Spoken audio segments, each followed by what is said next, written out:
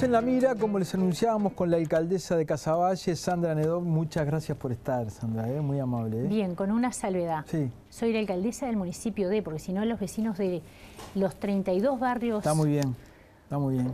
Está muy bien. Casaballe, Casaballe dicen, esta, señora solo trabaja para Casaballe, seguro, no es así. Seguro. Casaballe se lleva todos los títulos, pero, pero es Casaballe tiene, tiene, tiene prensa. tiene prensa, Tiene prensa, está bien, está bien, está muy bien. Bien la aclaración, municipio de...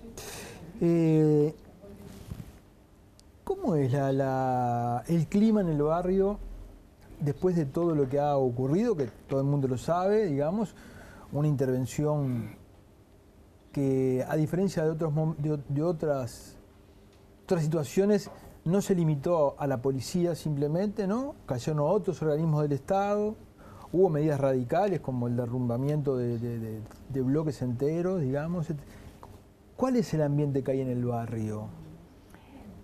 Yo creo que ha mejorado, que los vecinos tienen confianza, eh, van tomando conocimiento de lo que se está haciendo porque hemos tenido reunión con los vecinos en esas reuniones salimos de este, el tema estrictamente de lo que estaba pasando y pasamos a otras cosas más cotidianas como la boca de tormenta que está tapada, el foco de luz que no enciende, otras cosas que son las que nos plantean los vecinos en otros barrios. Los problemas comunes de otros barrios, digamos, este, y saliendo de lo eminentemente delictivo o policial pero estaba muy, estaba, era un barrio que estaba muy, este, muy hackeado por esto, ¿no? Por estas bandas, ¿no? Este, eh, ¿Cómo, cómo, lo, recibían los, los La complejidad se empezó a dar como en septiembre del año pasado, para adelante. Ahí empezó. Que ahí empezó como a ponerse más complicado. Pero en realidad el barrio este, es como todos los barrios. En todos los barrios hay de todo. Sí.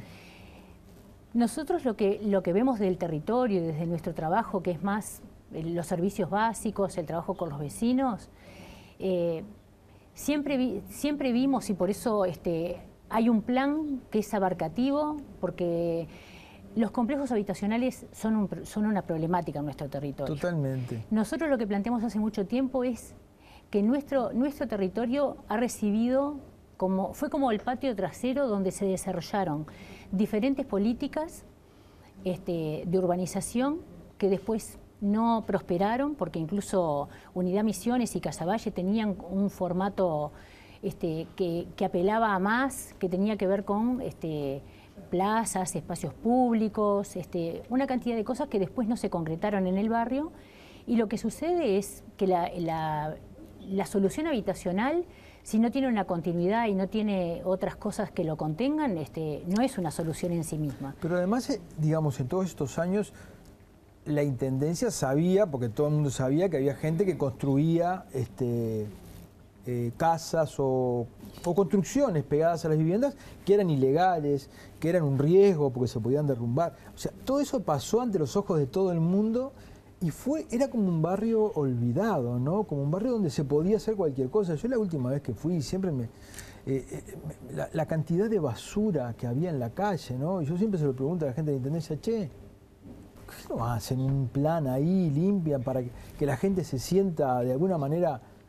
Eh, el, tema policial hizo olvidar otras cosas del barrio. Bueno, esta intervención urbana lo que, lo que contempla son esas cosas, porque en realidad a la interna del barrio era complicado poner algunos servicios. Por ejemplo, si nosotros poníamos contenedores en la calle del medio, donde ahora se demolió la escalera, el camión no tenía cómo girar, el camión levanta contenedores, o sea que si pusiéramos contenedores, no había una forma de que el camión pudiera dar vuelta para, hacer el circuito. Entonces, eh, estas aperturas que se están haciendo son conexiones que en el plan están planteados y que, bueno, fue como que esta otra situación hizo que eso que veníamos planteando hace mucho tiempo se agilizara. Pero estaba planteado eh, en el plan general esto de tirar viviendas a mansalva o esto ocurre después de que salta en septiembre el problema de las bandas? No, pero no es tirar viviendas a mansalva, se están proyectadas... Bueno, bueno, bueno, que digo a mansalva porque... Conexiones... Fueron hace poco 40 y pico, 24, 16, o sea, son un montón de viviendas las que se han tirado. Está planteado en el, en el librito, eh, creo que es la página 47. Me habla del libro este de Casaballe, este, donde está el plan Casaballe, ¿no? Es intervención, este, dice la intervención urbana y dice qué sería lo ideal y este, hasta dónde se podría llegar. Dice en algún caso que se podría este, derrumbar total o parcialmente algunas viviendas. Estaba planteado. Creo que eh, lo otro que sucedió en realidad eh, viabilizó que esta proyección urbana, que, este, bueno, que algunas casas ya estuvieran vacías, que algunas este, casas queden vacías por otras, por otras circunstancias, dio la posibilidad de poder hacer algunas intervenciones. ¿Usted se enteró el año pasado, cuando empezaban a hacer los desalojos por la fuerza, de que eso estaba ocurriendo? Bueno, nosotros este, somos la primer frontera, ¿no? Somos el tercer nivel de gobierno, pero somos los que estamos en, el territorio. Y todo, todo nos llega a nosotros. Las solicitudes de trabajo, las solicitudes de vivienda, este, estas denuncias que en realidad nosotros lo que le planteamos a los vecinos es cuáles son los canales para hacer, para hacer llegar este, cada una de las demandas, porque hay cosas que superan lo que tiene que ver con el gobierno local. Nosotros eh, tenemos competencias muy básicas y en realidad creo que la, lo que nos hace a nosotros este, potentes en el territorio es que tenemos la posibilidad de articular interinstitucionalmente. Por eso, por eso, pero ¿no era más fácil para usted denunciar esa situación que para el propio vecino? ¿Que de pronto se exponía más al riesgo? Bueno, pero en realidad la denuncia después hay que sostenerla. Claro. Este, y yo vivo en el barrio. Usted también vive en el barrio. Y yo vivo en el barrio.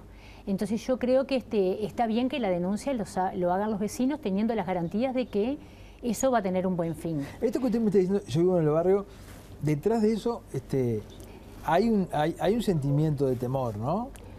Mm, yo lo que creo es que cada, cada cosa tiene su, su, su escala. Entonces, yo creo que nosotros lo que tenemos que hacer es viabilizar que las cosas que son del Ministerio de Vivienda vayan al Ministerio de Vivienda y que todo eso que los vecinos nos plantean se vehiculicen y lleguen como una demanda sentida del territorio este, entre, entre los organismos del Estado. De hecho, nosotros en el Plan Casaballe nos reunimos una vez por mes y hay representantes de cada uno de los organismos del Estado que vemos este, con una mirada integral el territorio y creo que eso es lo que, lo que ha hecho que algunas cosas se hayan concretado, como el skate park, el Centro Cívico Luis Acuesta, la Plaza Casaballe, la regularización de los asentamientos que estaban alrededor del Sacude y ese complejo que hoy tiene este, una función social muy importante en el territorio. Ahora en octubre va a empezar eh, la escuela china, que es una donación que nosotros hace muchos años que venimos atrás de ella, este, que también va a tener un CAIF al lado, va a tener un espacio público. Todo eso tiene que ver con el plan y con la necesidad que no es solo de Casaballe. Nosotros cuando hicimos el borde del plan, eh, marcamos cuál era el, marco en el que nos íbamos a, situar para trabajar interinstitucionalmente atendiendo, que lo que entendemos nosotros es que la vulnerabilidad de nuestro territorio, de los 181.000 habitantes que tenemos, 80.000 viven dentro del marco del plan. Es casi la mitad del, territorio del municipio. Y nosotros lo que entendemos de ahí es que en diferentes escalas, pero existen vulnerabilidades en tema de viviendas, en el tema de accesibilidad, de una cantidad de, temas que nosotros tratamos de hacerle llegar, por ejemplo, al sistema educativo cuáles son los centros educativos que necesitamos, que nosotros, por ejemplo... ¿Se responde? sí, responde? Yo quiero, quiero plantearle una última pregunta referida al tema de la seguridad. Eh, eh, em, han sido decenas y decenas, según la policía, prácticamente la banda de los chingas ha quedado prácticamente de eh, desmembrada y los que están están emigrando, en fin. ¿Eso se percibe en el barrio, de que la gente siente de que los chingas ya no mandan? ¿O todavía hay precauciones? Bueno, de, esa conversación cotidiana que yo te digo que tuvimos con los vecinos, que era un delegado por cada una de las, de, los, de, las tiras de complejos, del complejo habitacional, eh, un vecino planteó, digo para hacerlo gráfico con un testimonio de un vecino, de hace 17 años que vivo en el barrio, el fin de semana este, pude salir por el este, tranquilo por el barrio con el termo y el mate bajo el brazo. Qué semejante testimonio, ¿no? Qué semejante testimonio. Un vecino que vive ahí, ¿no? Y hace 17 este, años. entonces yo creo que los vecinos sienten que esto tuvo un impacto en el barrio y se sienten de una manera diferente. Porque yo siempre digo, nosotros los que eh, tenemos conocimiento o trabajamos en el territorio podemos sentir las cosas como nos las manifiestan. Ahora no las vivimos como los que está viven claro, Está claro, ¿Qué le falta? ¿Qué, qué, qué, si usted tuviera que decir, bueno, algo que, que, digamos que sea central para Casaballe en este momento, ¿qué le faltaría? Para nosotros este, temas que son fundamentales es, bueno, son varios, ¿no? Porque es como que una cosa va, este, va enganchada con la otra. Vivienda sin duda. Los complejos habitacionales, esto que vos decías que construyeron para el frente y para el fondo, bueno, pero el núcleo básico son 22 metros cuadrados. Una familia sí, sí, en 22 metros cuadrados. Y familias que este, crecen rápido, muchas de ellas, ¿no? Después el tema educativo para nosotros es una necesidad porque nosotros tenemos una condición diferente que otros, otros municipios y es que la población joven nace en nuestro territorio. Entonces para nosotros es un desafío al futuro que esos jóvenes se eduquen, se formen para, porque también de, si están formados, educados, van a acceder a una mejor calidad de trabajo. Pero ahí hay escuelas y liceos. Sí, hay escuelas y liceos, hay escuelas, hay escuelas públicas, hay este, emprendimientos privados con apoyo... Este, sí, los pinos, el, jubilar, todo eso. Que tienen apoyo del Estado también esos emprendimientos. Por eso, pero eso está. Sí, eso está. ¿Pero qué falta? Bueno, eh, es difícil a veces saber que, este, cómo se enganchan a, los jóvenes en esto de la educación. Eh, ah. eso creo que también es un desafío. Los jóvenes que desertaron de la educación formal, ¿cómo los enganchamos para, que, puedan formarse o para para que puedan especializarse de repente en algo que les permita después acceder al mercado de trabajo, porque el trabajo es un problema en nuestro territorio también. Porque la gente que consigue trabajo, en su gran mayoría, son salarios mínimos. No es un salario que te permita mudarte si te querés comprar una casa, entrar en un... Este, tener otras cosas más allá de la sobrevivencia cotidiana. Entonces yo creo que el trabajo es un desafío pero el trabajo es un desafío, pero para conseguir trabajos este, mejores tenés que estar formado, educado. Y para eso yo creo que también tenés que tener un espacio físico, y por eso yo digo que va todo como enganchado.